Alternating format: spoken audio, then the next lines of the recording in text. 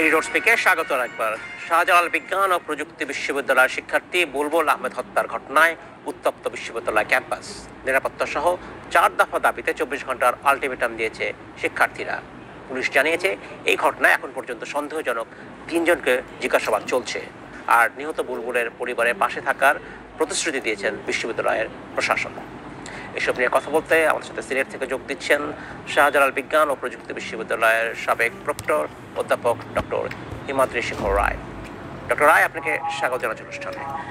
খুবই দুঃখজনক ঘটনা একজন শিক্ষার্থী বিশ্ববিদ্যালয় ক্যাম্পাসের মধ্যেই ছুরির আঘাতে নিহত হয়েছেন। পুলিশ চেষ্টা করছে এখন খুঁজে বের করার কারণ কি? কিন্তু তার বিশ্ববিদ্যালয়ের নিরাপত্তা অবস্থা কেমন? ক্যাম্পাসের মধ্যে একজন শিক্ষার্থী আহ, ছুরিকাহত হয়ে মারা যাবে? ধন্যবাদ আপনাকে। যে ঘটনাটি ঘটেছে, এটা আসলে অত্যন্ত মর্মান্তিক। আমাদের বিশ্ববিদ্যালয়ের একজন ছাত্র, প্রশাসন বিভাগের অত্যন্ত ভালো একজন শিক্ষার্থী। আমরা তাকে হারালাম। আসলে যে ঘটনাগুলো ঘটছে, বা শুধু বিশ্ববিদ্যালয় চত্বরেই নয় আপনারা দেখছেন সারা বাংলাদেশের মধ্যে একটা যে ঘটনাগুলো ঘটছে, এগুলো কোনোভাবে আসলে কাম্য নয়। আমাদের বিশ্ববিদ্যালয় আপনি জানেন তিনশো বিশ একরের একটি বিশ্ববিদ্যালয়। মাননীয় ভাইস চ্যান্সেলর মহোদয় সীমানা প্রাচীরটা দিতে পেরেছেন। আমরা অনেক আগে থেকে চেষ্টা করছিলাম একটা সীমানা প্রাচীর দেওয়ার নিরাপত্তাহীনতার কারণেই।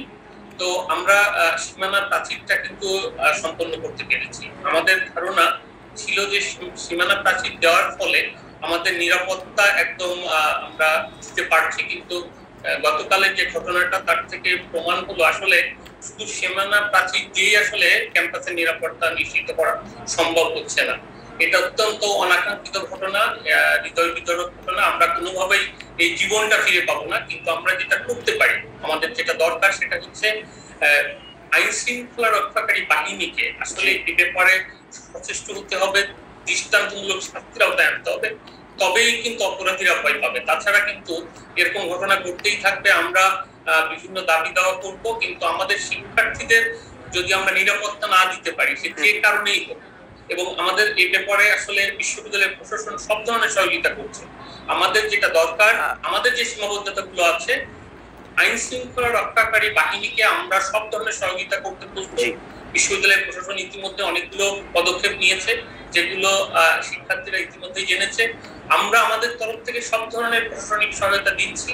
যে যেটা দরকার সেটা হচ্ছে আইন শৃঙ্খলা রক্ষাকারী বাহিনীকে একটা আপনি যথার্থই বলছিলেন যে শুধু প্রাচীর সীমানা প্রাচীর তৈরি করে আসলে অপরাধ কমন কমানো যাবে না কথা সত্য। আর একটু প্রযুক্তি সাহায্য নিতে পারা যায় কিনা, আরও বেশি বেশি সিসিটিভি ক্যামেরা স্থাপন করা যায় কিনা বিশ্ববিদ্যালয় ক্যাম্পাসের আশেপাশে, তাহলে তো এই- অপরাধীদের সহজে ধরা যেত এই বিষয়গুলো চিন্তা করছেন কিনা বা করা উচিত কিনা? রয়েছে, আপনারা জানেন, মাঝে বন্যা হয়েছিল, আমাদের প্রশাসন থেকে জানানো হয়েছিল। মাঝখানে বন্যার কারণে আমাদের বিশ্ববিদ্যালয় পুরো প্লাবিত হয়ে গেছিল, যার কারণে কিছু কিছু ক্যামেরা আসলে সচল ছিল না। যে এর পরেও আমরা চেষ্টা করছি ক্যামেরা দিয়ে সারা বিশ্ববিদ্যালয়ের ক্যাম্পাসটাকে আমাদের নজরদারির মধ্যে আনা। আইন শৃঙ্খলার বাহিনী যারা আছেন তারাও সচেষ্ট। কিন্তু যেটা দরকার এর ফাঁকেও কিন্তু দু একটি ঘটনা এরকম ঘটে যায় মাঝে মাঝে।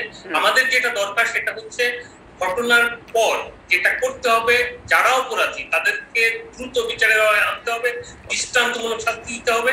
তবেই কিন্তু অপরাধীরা ভয় পাবে যে না এরকম ঘটনা ঘটানোর কোনো সুযোগ থাকবে না। এই ধরনের ঘটনা কি আগে ঘটেনি?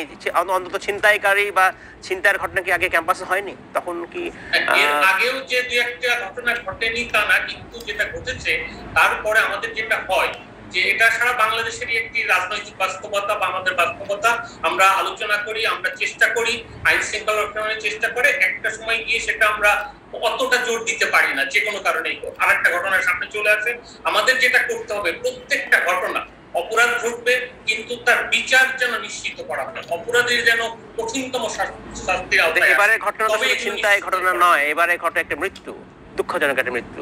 তাহলে নিশ্চয়ই আমরা আশা করব যে প্রশাসন সহজে ভুলে যাবে না আরেকটি ঘটনা আসলে চাপা পড়ে যাবে না এই ঘটনা এবং দৃষ্টান্তমূলক কোনো ব্যবস্থা নিতে হবে যাতে অপরাধীরা ধরা পড়ে এবং অপরাধীরা আর এই কাজ করতে সাহস না পায়। নিশ্চয়ই সেটা আমরাও সকলেই সেটা চাই। আমরা বিশ্ববিদ্যালয়ের শিক্ষার্থীরা ইতিমধ্যে চার দফা দাবির কথা আপনারা শুনেছেন। আমরাও বিশ্ববিদ্যালয়ের সকলেই কিন্তু সেই দাবির সাথে একমত। আমরা চাই প্রত্যেকেই তারা যেন নিরাপত্তা নিশ্চিত করা হয় এবং সেটা আমাদের একার পক্ষে সম্ভব না। বিশ্ববিদ্যালয়ের প্রশাসন কখনোই কিন্তু একদম সার্বিক নিরাপত্তার মধ্যে আনতে পারবে না।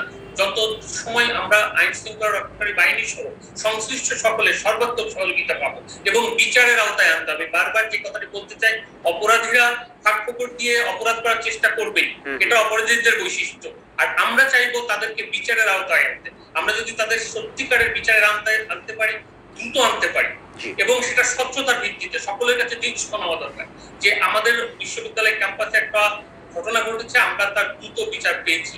এটা যতক্ষণ নিশ্চয়ই। আমরা নিশ্চিত না করতে পারব আমরা অনেক ধরনের প্রযুক্তি ব্যবহার করতে পারি আমরা অনেক ধরনের নিরাপত্তা রক্ষী দিয়ে ক্যাম্পাস থেকে সুরক্ষিত রাখতে পারি কিন্তু তারপরেও দু একটা ঘটনা ঘটবে এবং এরকম মর্মান্তিক ঘটনা যেটা কখনোই কাম্য নয়। কিন্তু আমাদের যে ব্যাপারটা মাথায় রাখতে হবে আমাদের প্রশাসনকে আইন শৃঙ্খলা রক্ষাকারী বাহিনীকে এবং সকলকে আসলে ঐক্যবদ্ধ হতে হবে। এই সমস্ত ঘটনার যেন পুনরাবৃত্তি না নিশ্চয়ই আমরা চাই না এই ঘটনার আর এই ধরনের ঘটনার পুনরাবৃত্তি হোক। আপনাকে অসংখ্য ধন্যবাদ ডক্টর হিমাদ্রি শেখর রায়। এই ডোর থেকে নিচ্ছি একটি বিরতি আমাদের সাথেই থাকবে